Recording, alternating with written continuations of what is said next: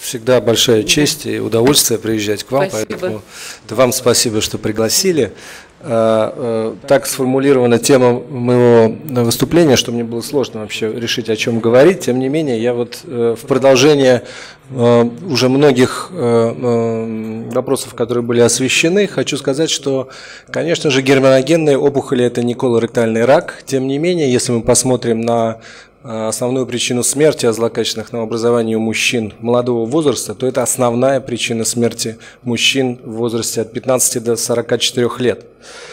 А Светлана Анатольевна уже говорила, что то, что эта опухоль потенциально излечиваема, то, что у этих мужчин еще предстоит вся жизнь, и они э, могут быть и работоспособны, и э, у них восстанавливается фертильность, если не восстанавливается, то криоконсервация помогает э, деторождению, то цена ошибки неправильного лечения очень высока у этих э, молодых мужчин. Поэтому э, Несмотря на отсутствие новых лекарственных подходов, которые действительно, к сожалению, пока отсутствуют, мы должны очень э, скрупулезно подходить к стандартам лечения и не делать этих ошибок. Э, Вопросы, которые я э, очень быстро э, коснусь, включают возможность органосохранного лечения, был задан как раз вопрос по этому поводу, хирургический доступ, как для выполнения оргфуникулоктомии, показания к забрюшинной лимфоденоктомии и ошибки рестадирования после проведения после химиотерапии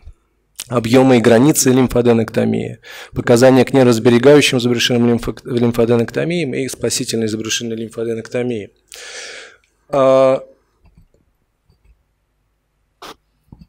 Органосохранная операция э, показана только в том случае, если диагноз предполагает наличие доброкачественной опухоли. Это мы должны все прекрасно понимать, потому что я уже не первый раз слышу, можно ли больному с герминогенной опухолью выполнять органосохранное лечение при втором здоровом яичке. Нельзя. Нельзя. Стандартом является оргфуникулоктомия. Почему? Потому что мы знаем, что 85% мужчин, если мы выполним органосохранное лечение, это будет герминогенная опухоль, у них будет рецидив, и дай бог, если это будет местный рецидив, а не уже распространенное заболевание, потому что в 85% случаев в окружающей паренхимии яичка присутствует карцинома инситу, которая является причиной рецидивов. Поэтому если мы предполагаем наличие доброкачественного поражения, не герминогенной опухоли, а сейчас специалисты по ультразвуку часто нам дают правильный диагноз, это может быть лидигома, это может быть э, э, какая-нибудь э, киста доброкачественная и так далее, тогда э, выполняется срочное гистологическое исследование, и в случае наличия герминогенной опухоли по больному обязательно выполняется орфоникулоктомия. А, Цель органосохранного лечения при двустороннем поражении это сохранение гормональной функции. Это не сохранение фертильности. Почему? Потому что если это двустороннее поражение, с одной стороны мы выполнили оргфуникулоктомию, с другой стороны мы выполнили органосохранное лечение, мы обязательно должны провести пациенту адювантную лучевую терапию в дозе 20 грей на оставшееся яичко. Эта доза убивает весь сперматогенный эпителий, клетки ледига, гормонопродуцирующие, более, более резистентны к лучевому воздействию, и поэтому гормональная функция может частично сохраниться. Но сперматогенный эпителий погибает, мы должны это понимать. И опять же, это имеет смысл только если это опухоль небольших размеров, не занимает больше 30% объема яичка, и если у пациента на момент, когда у него осталось это единственное яичко, имеется нормальный уровень половых гормонов. Если он низкий уже, то большого смысла выполнения органосохранного лечения нет. Органосохранное лечение выполняется, идут дискуссии, можно ли использовать мошоночный доступ или обязательно использовать высокий паховый доступ, как при орхониколоктомии. Нужно ли обязательно накладывать зажим на семенной канатик перед выполнением. Есть работы, которые говорят, что обязательно, есть работы, говорят, которые, что можно это не накладывать. Тем не менее, основа – это выполнение срочного гистологического исследования и удаление яичка, если это герминогенная опухоль. У отдельных мужчин, которые категорически не хотят выполнять орхониколоктомию, хотят завести детей Возможно выполнение отсроченной орфоникулэктомии после резекции яичка при условии полной информированности пациента. Мы знаем, что далеко не у всех этих мужчин имеется способность к, имеется адекватная концентрация сперматозоидов, качество э, спермы для э, оплодотворения яйцеклетки. Тем не менее, участие больных это возможно, и возможно выполнение отсроченной орфониколэктомии, тем не менее, она должна быть выполнена или проведена адъювантная лучевая терапия. Это что касается органов сохранного лечения.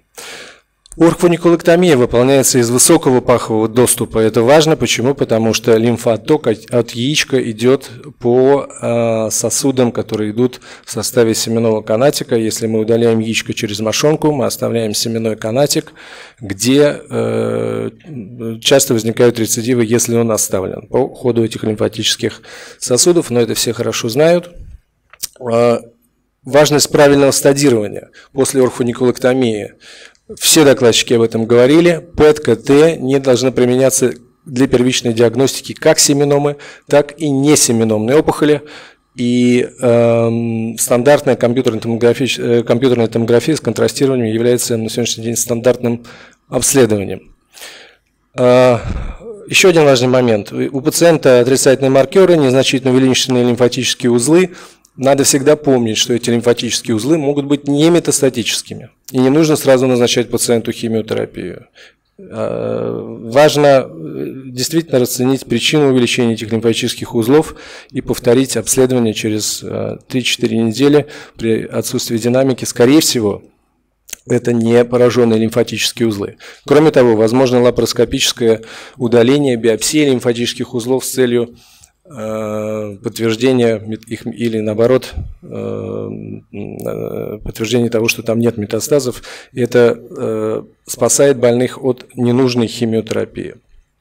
Силана Анатольевна тоже уже сказала, что уровень маркеров для определения категории S нужно определять после орфониколэктомии, как для стадирования, так и прогноза заболевания.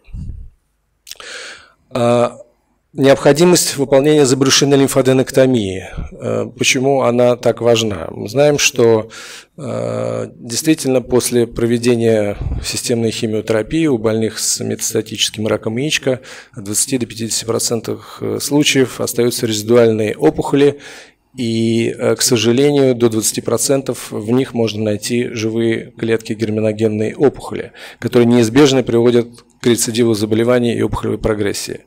Кроме того, 30%, от 30 до 40% э, пациентов э, гистологической находкой является зрелая тератома, которая одной по биологическим э, особенностям является опухолью не злокачественной, тем не менее она обладает непредсказуемым течением с возможным ростом, окружающих, э, ростом и инвазией окружающих тканей, органов и злокачественной трансформацией, которая наблюдается в 3-6% случаев. Также тератома является причиной поздних рецидивов, поэтому даже если это тератома, ее нужно удалять полностью обязательно.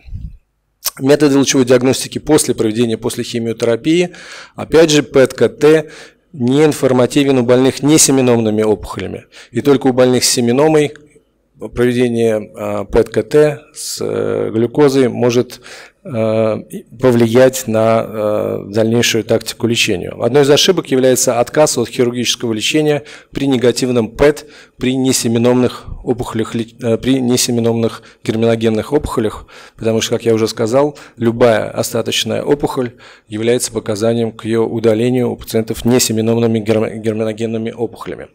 И тератома, э, зрелая тератома, она всегда ПЭТ негативная, и э, ПЭТ в данном случае нам не помощник. А, даже у пациентов с опухолями размерами менее 1 см в 20 случаях мы можем найти тератому и в 8 случаях живую опухоль. Идут дискуссии, стоит ли удалять опухоли размером остаточной менее 1 см или можно за ними наблюдать.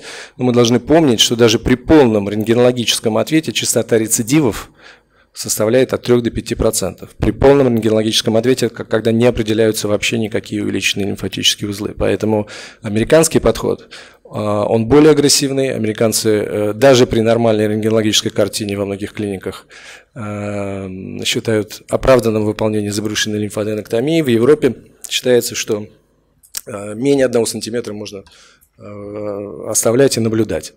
Когда нужно выполнять забрюшинную лимфоденектомию, ее нужно выполнять вовремя, нельзя откладывать это на э, потом, э, после того, как у пациента восстанавливаются гематологические показатели, в течение двух-шести недель после окончания системной химиотерапии необходимо выполнять забрюшинную лимфоденектомию или результаты лечения больных существенно ухудшаются.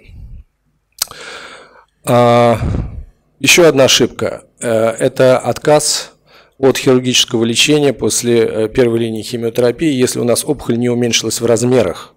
Это э, отсутствие уменьшения опухоли в размерах не является критерием отсутствия ответа. И э, часто этим больным назначается вторая, третья линия химиотерапии. Как Светлана Анатольевна сказала, они приходят уже практически с нулевой функцией почек, с нефротоксичностью, с кардиотоксичностью к нам на э, лечение, когда уже состояние их совершенно другое, и последствия этой химиотерапии ненужные. Они скажутся, непременно скажутся в их дальнейшей жизни, даже если мы их на данный момент э, вылечим. Мы должны помнить, что тератома может не уменьшаться в размерах практически, и э, это не является критерием эффективности, неэффективности проводимой системной химиотерапии. ПЭТ имеет значение у больных э, с семеномой, так как мы знаем, что остаточные опухоли размерами э, менее 3 см, как правило, не содержат живой, э, живых опухолевых клеток, и пациенты, у которых ПЭТ, выполненный через 4-6 недель после завершения химиотерапии, не является негативным, и размер опухоли Э, менее 3 сантиметров, э, эти пациенты с семеномными опухолями не подлежат забрюшинной лимфоденектомии. То есть только пациенты с опухолями более 3 сантиметров и позитивным ПЭТ могут рассматриваться как кандидаты для удаления остаточных опухолевых масс при семеномных опухолях. Иногда это бывает невозможно, тогда пациентам показано выполнение, по крайней мере, э, биопсии. Границы лимфоденоктомии. Э, стандартом является это двусторонняя полная лимфоденоктомия. Э, латеральными границами являются мочеточники, верхней границы почечные сосуды и нижней границы э, бифуркация общих подвздошных артерий. К сожалению, такой объем лимфодиссекции приводит к потере антиградной экуляции, и, естественно, после этого развивается у пациентов инфертильность, связанная с повреждением симпатических нервов. Э, основной локализацией э, постганглионарных окончаний, которые формируют гипогастральное сплетение и ответственны за функцию э, эякуляторного аппарата семенных пузырьков и семеноносящих протоков, является вот эта зона, которая в красном квадратике, которая расположена от уровня нижней брюжеечной артерии и чуть ниже бифуркации аорты. Поэтому вот эта зона э, является ключевой для сохранения антиградной эякуляции. Для э, предотвращения этих нежелательных моментов забрюшинной лимфоденектомии были предложены различные модификации двусторонней забрюшинной лимфоденектомии, такие как удаление ипсилатеральных лимфоузлов от ворот почки до бифуркации подвздошных артерий и аортоковальные узлы для правого яичка. А, было предложено избегать диссекции в области контралатерального а, сосудистого пучка, а, сосудисто нервного пучка и не выполнять контралатеральную диссекцию ниже, э, ниже нижней брюшечной артерии. Тем не менее, надо понимать, что выполняя модифицированную забрюшинную лимфоденектомию, мы всегда имеем риск оставить Э, опухоль за границами выполненной лимфодиссекции, так как известно, что частота контралатерального распространения э, не такая маленькая, 8% у больных с большой остаточной опухолью. Все это может приводить к более высокой частоте рецидивов, к необходимости проведения дополнительного лечения, соответственно, увеличению токсичности и ухудшению выживаемости. Тем не менее, потенциальные преимущества, которые мы можем получить от выполнения модифицированной лимфоденектомии, они э, перевешивают тот, те возможные риски, которые присутствуют, так как, во-первых, уменьшается длительность операции, уменьшается частота хирургических осложнений, уменьшается потеря электролитов и необходимость э, переливания э, кровезаменителей в послеоперационном периоде. И самое главное, сохраняется эмиссия и экуляция без применения нервосберегающих методик, которые после химиотерапии, в отличие от операций, которые проводятся до химиотерапии, э, не всегда технически выполнимы и часто не показаны по онкологическим соображениям. Как избежать рецидивов при выполнении модифицированной лимфоденоктомии? Различные были предложены варианты э, выполнять срочное гистологическое исследование, но, э, к сожалению, соответствие результатов срочного гистологического исследования с материалами планового исследования не стопроцентно, от 86 до 89% совпадения. Э, рецидивы до 2 см, как правило, не содержат живой резидуальной опухоли. Это второй фактор. И третий – это выполнение модифицированных методик у пациентов с опухолью левого яичка. Почему лево? Потому что если мы посмотрим на лимфоток от правого яичка, то на уровне как раз почечных сосудов идет переход справа налево, поэтому если у пациента опухоль левого яичка, то мы можем э, смело выполнять модифицированную забрюшинную э, лимфодиссекцию, оставляя э, правый симпатический ствол для сохранения антиградной вейкуляции. А, но только у пациентов со стадии 2А и 2Б, и э, две группы, немецкая э, группа по изучению герминогенных опухолей и эм, э, группа из Индианы в двух довольно крупных исследованиях показала, что это безопасно а, при соблюдении тех принципов, о которых я только что вам рассказал.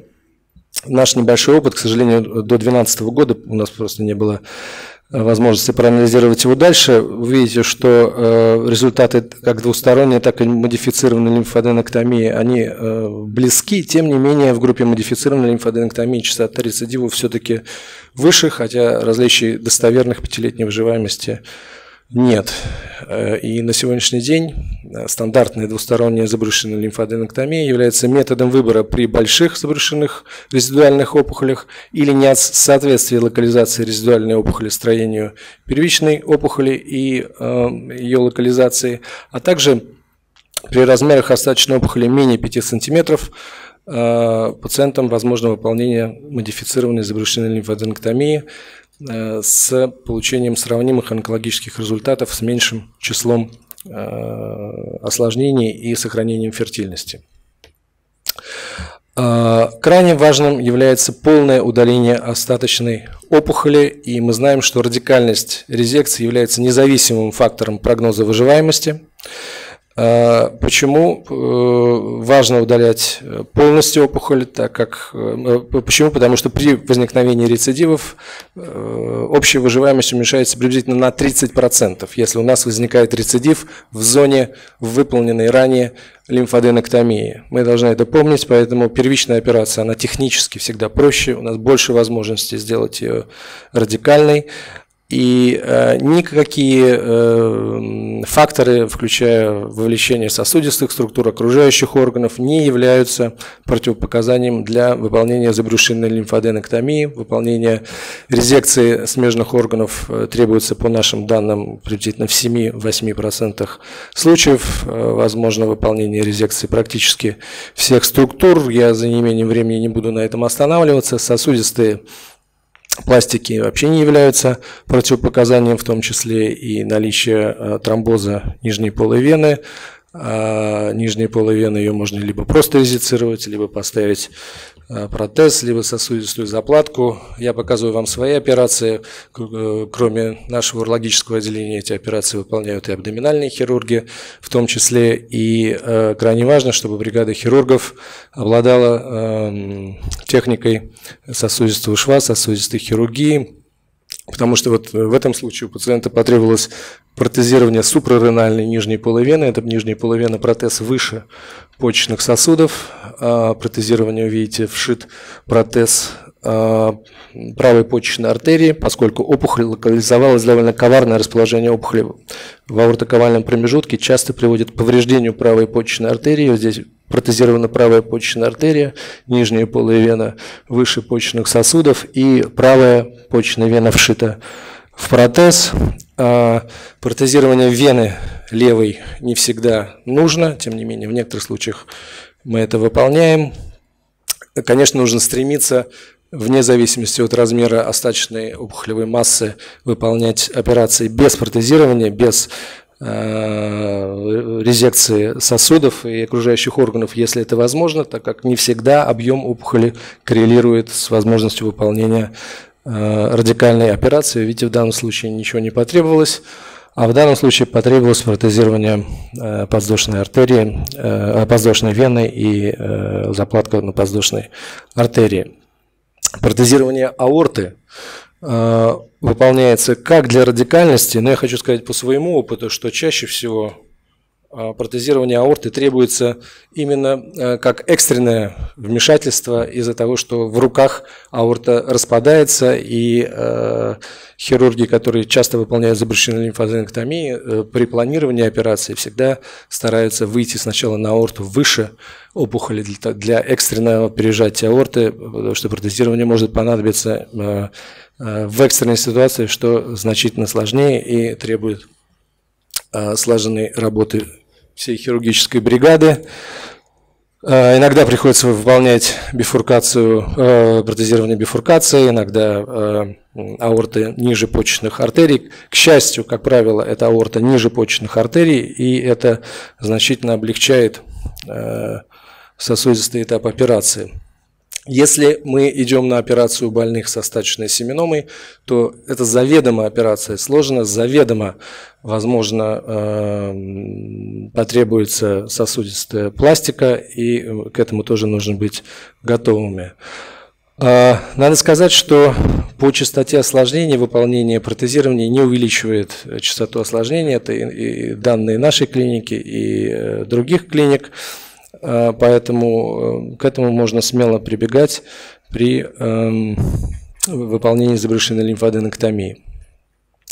А, факторы, которые указывают на необходимость реконструкции сосудов, включают э, плохую группу прогноза, а, положительное наличие положительных маркеров на момент выполнения забрюшинной лимфоденектомии и большой размер опухолевых узлов. Я пропущу часть слайдов, я уже выбился из графика. А, классификация Индианы очень важная классификация забрюшинных лимфоденектомий, э, которая выделяет стандартную забрюшинную лимфоденектомию после химиотерапии, а, индукционной химиотерапии и осложненную лимфоденектомию, которая включает в себя выполнение этой операции после более чем одной линии химиотерапии. А, при выполнении забрюшинной лимфоденектомии при возникновении рецидивов после выполнения уже первичной забрюшинной лимфоденектомии у пациентов с поздними рецидивами и пациентов с положительными маркерами. Все эти варианты треб... имеют высокую вероятность необходимости резекции прилежащих органов и сосудов. А, это наши данные выполнения нет, извините, это очень плохо видно здесь у меня на мониторе. А, Э, мы видим, что несмотря на то, что у пациентов с опухолевыми маркерами, конечно, с остающимися повышенными опухолевыми маркерами после индукционной химиотерапии, э, результат лечения существенно хуже, тем не менее, при выполнении забрюшинной лимфоденектомии тератома встречается у каждого третьего больного и некроз приблизительно у 10-12% больных. И как раз это та категория больных, которая выиграет от выполнения забрюшинной лимфоденектомии. Очень частая ошибка – это неправильная трактовка динамики опухолевых маркеров у пациентов с изначально высоким хроническим гонадотропином. Если он был выше, чем 50 тысяч, э, плохо видно, наверное, но э, вот это вот первое быстрое падение э, со, с, там, с 50 тысяч до 1000, оно происходит очень быстро, согласно периоду полураспада хронического гонадотропина. А вот этот вот хвост, он может очень долго сохраняться. И пациенты с э, изначально очень высокими показателями хронического гранатропина, они могут иметь вот это незначительное повышение и очень медленную динамику. Несмотря на это, их нужно оперировать. Это, опять же, наш опыт э, только до 2008 года. Поздние случаи нами еще не были проанализированы. Тем не менее, мы видим, что у трети больных с повышенными маркерами на момент выполнения забрюшинной лимфоденектомии в удаленной опухоли был найден некроз, в 37% случаев тератомы, и только у трети больных была найдена живая опухоль, и пятилетняя общая выживаемость этих больных составила 41%, что, в общем-то, для этой категории больных не так плохо.